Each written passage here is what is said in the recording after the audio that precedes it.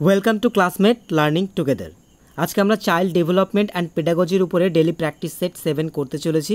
তো সময় নষ্ট না করে আমরা সরাসরি চোখ রাখব কোয়েশ্চেন্সগুলোতে আজকের first question question number one সর্বপ্রাণবাদ দেখা যায়। তো কোন স্তরে দেখা যায় সেটা বলতে হবে অ্যাকচুয়ালি এই কোয়েশ্চেনটি পেঁয়াজের প্রজ্ঞামূলক বিকাশ বা কগনেটিভ ডেভেলপমেন্টের উপর থেকে করা হয়েছে। অপশনগুলো দেখে নেব।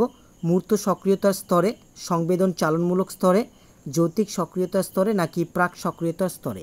তো আমরা সকলেই জানি যে পেঁয়াজে তার প্রজ্ঞামূলক বিকাশে মোট চারটি স্তরে কথা বলেছিলেন। এবার চারটি স্তর হচ্ছে সংবেদন চালনমূলক স্তর বা সেন্সারি মোটর স্টেজ, প্রাক সক্রিয়তার স্তর বা প্রি অপারেশনাল স্টেজ, মূর্ত সক্রিয়তার স্তর বা কংক্রিট অপারেশনাল স্টেজ আর যৌতিক সক্রিয়তার স্তর বা ফর্মাল অপারেশনাল স্টেজ। ঠিক আছে? এর মধ্যে আমরা প্রাক সক্রিয়তার স্তর বা প্রি অপারেশনাল স্টেজ অর্থাৎ যে সময় শিশুর বয়স দুই বছর থেকে সাত বছর থাকে, সেই সময় শিশুদের মধ্যে কিন্তু আমরা চারটি প্রধান বৈশিষ্ট্য পাচ্ছি। এই চারটি বৈশিষ্ট্যের মধ্যে প্রথমে আছে আমাদের বাস্তববাদ বা রিয়েলিজম অর্থাৎ এই সময় কিন্তু শিশুদের মধ্যে অন্তর্জগৎ ও বহির্জগৎ সম্পর্কে জ্ঞান হয়। ঠিক আছে, তারপরেই কিন্তু রয়েছে সর্বপ্রাণবাদ বা অ্যানিমিজম এবার সর্বপ্রাণবাদ বিষয়টা কি? যে শিশুরা কিন্তু সব বস্তুকে সজীব ও সচেতন বলে বিশ্বাস করে। ঠিক আছে, তাহলে সর্বপ্রাণবাদ এই বিষয়টা বা এই বৈশিষ্ট্যটা কিন্তু আমরা পাচ্ছি প্রাক প্রাক সক্রিয়তার স্তরে। ঠিক আছে? এবার এছাড়াও কিন্তু এই স্তরে আরও দুটি প্রধান বৈশিষ্ট্য দেখা যায়, সেটা হচ্ছে কৃত্রিমতা বা আর্টিফিশিয়ালিটি অর্থাৎ শিশুরা সব কিছুকে মানুষের দ্বারা সৃষ্ট বলে মনে করে, আর শেষে আছে অবযুক্তিপূর্ণ বিচার বা ট্রান্সডাকটিভ রিজনিং ঠিক আছে? অর্থাৎ শিশুরা যে কোনো বিষয়ের কারণ হিসেবে কিন্তু কিছু অযৌক্তিক যুক্তি দেয়। তাহলে আমরা সর্বপ্রাণবাদ এই বৈশিষ্ট্যটা কিন্তু প্রাক সক্রিয়তার স্তরেই পাচ্ছি। তাহলে প্রশ্নটির সঠিক উত্তর হচ্ছে আমাদের অপশন ডি এবারে প্রাক সক্রিয়তার স্তরে এই চারটি প্রধান বৈশিষ্ট্য ছাড়াও কিন্তু আরও কিছু গুরুত্বপূর্ণ বৈশিষ্ট্য আমরা পাই। তো এগুলি হলো যে যে কোনো বিষয়কে সামগ্রিকভাবে কিন্তু শিশুরা বিচার করতে পারে না। ঠিক আছে? তারপর যে কোনো বস্তুকে কিন্তু তারা নিজের মতো করে দেখে। একটা বিষয় বা একটা বস্তু সম্পর্কে একটা শিশু কি ভাবছে সেটা কিন্তু তার কাছে বড় কথা। অন্যরা কীভাবে দেখছে বা অ্যাকচুয়ালি জিনিসটা কীরকম, সেটার ক্ষেত্রে কিন্তু তাদের কোনো গুরুত্ব থাকে না। আর অন্যতম একটা বৈশিষ্ট্য হচ্ছে যে এই স্তরের শিশুরা বিপরীত প্রক্রিয়া কিন্তু বুঝতে পারে না। তারা জানে যে three plus three equal to six কিন্তু six minus three equal to three এই বিপরীত প্রক্রিয়াটাই কিন্তু তারা বুঝতে পারে না। ঠিক আছে? চলে আসব পরবর্তী কোয়েশ্চেনে কোয়েশ্চেন নাম্বার টু কে বলেছেন বুদ্ধি হলো বিমূর্ত চিন্তা করার ক্ষমতা? বিনেট স্টার্ন টার্নম্যান নাকি বাকিংহাম তো অ্যাকচুয়ালি বুদ্ধি হলো বিমূর্ত চিন্তা করার ক্ষমতা। এই বিষয়টা কিন্তু আমাদের মনোবিদ টারম্যান বলেছেন। ঠিক আছে? তো টারম্যান কি বলেছেন? টারম্যান বলেছেন যে an individual is intelligent in proportion as he is able to carry on abstract thinking অর্থাৎ ব্যক্তির বুদ্ধির পরিমাণ নির্ভর করে সে কী পরিমাণে বিমূর্ত চিন্তা করার ক্ষমতার অধিকারী। ঠিক আছে? তার মানে বুদ্ধি হলো বিমূর্ত চিন্তা করার ক্ষমতা। এই কথাটা কিন্তু আমাদের মনোবিদ টারম্যান বলছেন। তাহলে সেদিক থেকে প্রশ্নের সঠিক উত্তর হচ্ছে আমাদের অপশন সি এবার কোয়েশ্চেন থ্রি বিশেষ চাহিদা সম্পন্ন শিশুদের শিক্ষাদান করা উচিত? অপশনগুলো দেখে নেব। বিশেষ বিদ্যালয়ে বিশেষ শিশুদের জন্য অনুসৃত পদ্ধতির দ্বারা, অন্যান্য স্বাভাবিক শিশুদের সঙ্গে বিশেষ বিদ্যালয়ে বিশেষ শিক্ষকের দ্বারা, নাকি উপরে কোনোটি নয়? তো এই প্রশ্নটি কিন্তু অন্তর্ভুক্তিমূলক শিক্ষা কিংবা ইনক্লুসিভ এডুকেশনের উপরে করা হয়েছে। তো অন্তর্ভুক্তিমূলক শিক্ষায় কি বলা হচ্ছে একবার দেখে নেব। এখানে কিন্তু বলা হচ্ছে যে সমস্ত শিক্ষার্থীদের সামাজিক স্বীকৃতি দেওয়া এবং তাদের ব্যক্তিগত চাহিদা অনুযায়ী শিখনের সুযোগ দেওয়াই হলো অন্তর্ভুক্তিমূলক শিক্ষা।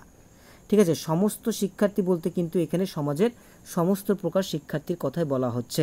সেটা সমাজে পিছিয়ে পড়া হোক কিংবা মার্জিনালাইজড হোক বা অনগ্রসর শ্রেণির হোক কিংবা প্রতিবন্ধী হোক বা বিশেষ চাহিদা সম্পন্ন শিশুই হোক না কেন, সমস্ত ছাত্রছাত্রীর কথাই কিন্তু এখানে বলা হচ্ছে। তারপর বলা হচ্ছে প্রতিটি শিশুর শিক্ষার অধিকারকে সুনিশ্চিত করতে হবে। ঠিক আছে, তারপর বলা হচ্ছে প্রতিবন্ধী শিশু, উন্নত মেধাসম্পন্ন শিশু পথশিশু শিশু শ্রমিক, উপজাতি সম্প্রদায়ের শিশু, ধর্মীয়, ভাষাগত বা সাংস্কৃতিক দিক থেকে সংখ্যালঘু সম্প্রদায়ের শিশু কিংবা অন্য কোনো কারণে ব্যক্তিগত অসুবিধা আছে এমন শিশু সকলকেই শিক্ষায় কিন্তু অন্তর্ভুক্ত করতে হবে। অর্থাৎ সমাজের সমস্ত প্রকার শিশুকে একই ছাদের নিচে, একই শিক্ষা ব্যবস্থায় কিন্তু তাদেরকে নিয়ে এসে শিক্ষা প্রদান করতে হবে। ঠিক আছে? তাহলে সেদিক থেকে প্রশ্নের সঠিক উত্তর হচ্ছে কিন্তু আমাদের অপশন বি ঠিক আছে? যে বিশেষ চাহিদা সম্পন্ন শিশুদের শিক্ষাদান করা উচিত অন্যান্য স্বাভাবিক শিশুদের সঙ্গে। ঠিক আছে?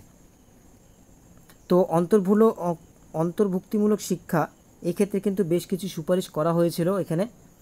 তো বলা আছে এখানে।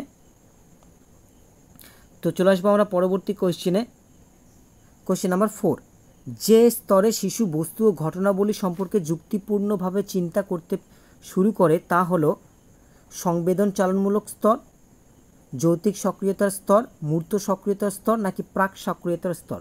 তো এই কোশ্চেনটিও কিন্তু পেঁয়াজের প্রজ্ঞামূলক বিকাশের উপরই করা হয়েছে। তো এখানে অ্যাকচুয়ালি যে যুক্তিপূর্ণভাবে চিন্তা করতে পারে শিশুরা কিন্তু যৌতিক সক্রিয়তার স্তরে, ঠিক আছে? তো যৌতিক সক্রিয় স্তরের বয়সসীমা হচ্ছে এগারো থেকে আঠারো বছর, অর্থাৎ আনুমানিক যে সময় শিশুরা ক্লাস সিক্স থেকে ক্লাস টুয়েলভের মধ্যে পড়াশোনা করে, ঠিক আছে? এবার এই স্তরে কী বৈশিষ্ট্য দেখা যায়? যে এই স্তরে শিশু, শিশুরা সম্ভাবনা থেকে বাস্তবকে পৃথক করতে পারে। বিভিন্ন পরিস্থিতি বা সমস্যার ভিন্ন ভিন্ন দিকগুলি পর্যালোচনা করার পর সমাধানের উপযুক্ত পথ সম্পর্কে সিদ্ধান্ত নিতে পারে।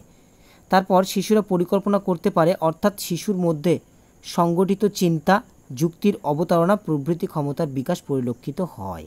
তাহলে যুক্তির অবতারণা, অর্থাৎ যুক্তিপূর্ণভাবে চিন্তা কিন্তু করতে শুরু করে শিশুরা যৌতিক সক্রিয়তার স্তরেই। ঠিক আছে? তার প্রশ্নের সঠিক উত্তর হচ্ছে আমাদের অপশন বি এবার এছাড়াও কিন্তু এই স্তরে আরও একটি গুরুত্বপূর্ণ বৈশিষ্ট্য দেখা যায়, সেটা হচ্ছে যে এই স্তরে শিশুদের মধ্যে হাইপোথেটিক ডিডাকটিভ থিঙ্কিং দেখা যায়। ঠিক আছে? এখান থেকে আমরা আরও একটি এমসিকিউ পাই। তো এমসিকিউটা হচ্ছে এরকম যে হাইপোথেটিক ও ডিডাকটিভ থিঙ্কিং প্রজ্ঞামূলক বিকাশের কোন স্তরে দেখা যায়? তাহলে সঠিক উত্তর হচ্ছে আমাদের যৌতিক সক্রিয়তার স্তরে। ঠিক আছে? চলে আসব পরবর্তী কোয়েশ্চেনে তো কোয়েশ্চেন নাম্বার ফাইভ শিখনের জন্য কোনটি অপরিহার্য? অর্থাৎ কোনটিকে বাদ দিলে চলবে না? অপশনগুলো দেখে নেব। শিশু ও পিতামাতার ভালো সম্পর্ক? না, এটি না থাকলেও কিন্তু শিশুরা শিখতে পারে যদি তার মধ্যে শেখার অগাধ ইচ্ছা থাকে, বুদ্ধি। তারপর ভালো বিদ্যালয়, ভালো বিদ্যালয়ে না গেলেও কিন্তু শিশুরা যদি তাদের মধ্যে শেখার ইচ্ছা থাকে, তাহলে কিন্তু তারা শিখতে পারে। আর অপশন ডিতে রয়েছে শেখার ইচ্ছা। ঠিক আছে? অর্থাৎ শিখনের জন্য কিন্তু অপরিহার্য বিষয় হচ্ছে আমাদের শেখার ইচ্ছা। শেখার ইচ্ছা যদি থাকে, তাহলে তাই তাকে সে যে কোনো প্রতিকূলতা সত্ত্বেও কিন্তু শিখতে পারবে। ঠিক আছে? তাহলে প্রশ্নের সঠিক উত্তর হচ্ছে আমাদের অপশন ডি এবার কোশ্চেন নাম্বার সিক্স নিচের কোনটি একজন শিক্ষকের যথাযথ ভূমিকা? অপশানগুলো দেখে নেব। অপশান এতে রয়েছে, শিক্ষক শুধুমাত্র একজন সমালোচক হবেন, একদমই নয়। অপশান বিতে রয়েছে, শিক্ষক ভালো ছাত্রদের প্রতি বিশেষ যত্নবান হবেন, একদমই নয়। কারণ শ্রেণীকক্ষে শুধুমাত্র ভালো ছাত্রদের প্রতি বিশেষ যত্নবান হলে সেটা কিন্তু পক্ষপাতিত্ব হয়। ঠিক আছে? তারপরে অপশান ডিতে রয়েছে, শিক্ষক ছাত্রদের থেকে দূরত্ব বজায় রাখবেন, একদম নয়। তারপর অপশন সিতে রয়েছে কিন্তু ছাত্রদের প্রতি শিক্ষক বন্ধুত্বপূর্ণ আচরণ করবেন। ঠিক আছে? বর্তমানের টিচারকে কিন্তু বলা হয় ফ্রেন্ড ফিলোসফার অ্যান্ড গাইড ঠিক আছে? সেই দিক থেকে কিন্তু প্রশ্নের সঠিক উত্তর হচ্ছে আমাদের অপশন সি ছাত্রদের প্রতি শিক্ষক বন্ধুত্বপূর্ণ আচরণ করবেন। এবার কোয়েশ্চেন নাম্বার সেভেন কোহলবার্গের মতে নৈতিক বিকাশ হলো এক প্রকার ইচ্ছামূলক বিকাশ, বুদ্ধিমূলক বিকাশ, জ্ঞানমূলক বিকাশ নাকি প্রয়োজনমূলক বিকাশ? ঠিক আছে? তো অ্যাকচুয়ালি কোহলবার্গ কিন্তু নৈতিক বিকাশের তত্ত্ব প্রসঙ্গে বলেছেন যে শিশুদের নৈতিক বিকাশে জ্ঞানমূলক দ্বন্দ্বের বা কগনেটিভ ডিলেম্বার কিন্তু বিশেষ ভূমিকা দেখা যায়। ঠিক আছে, এবার এই জ্ঞানমূলক দ্বন্দ্ব বিষয়টা কি? জ্ঞানমূলক দ্বন্দ্ব হচ্ছে এরকম যে কোনো একটা শিশু জানে, দেখা গেল কোনো একজন শিশু জানে যে চুরি করলে সেটা অপরাধ হয়। ঠিক আছে, কিন্তু যখন সে দেখছে যে সমাজের কোনো ব্যক্তি চুরি করার পর বিশেষভাবে লাভবান হচ্ছে, তখন কিন্তু তার মধ্যে একটা নৈতিক দ্বন্দ্বের সৃষ্টি হয়। এই দ্বন্দ্বটাই কিন্তু তার জ্ঞানমূলক দ্বন্দ্ব। সে জানে যে চুরি করা অপরাধ, কিন্তু চুরি করা সত্ত্বেও একজন লাভবান হয়েছে। তো কোনটা ঠিক আর কোনটা বেঠিক, এটা নির্ণয় করবার জন্য কিন্তু তার মধ্যে একটা জ্ঞানমূলক দ্বন্দ্বের সৃষ্টি হয়।